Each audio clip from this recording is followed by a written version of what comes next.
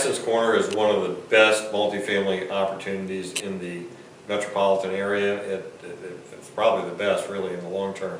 Um, It's got metro access coming, it's got interstate highway, it's got the jobs, highest income in the United States.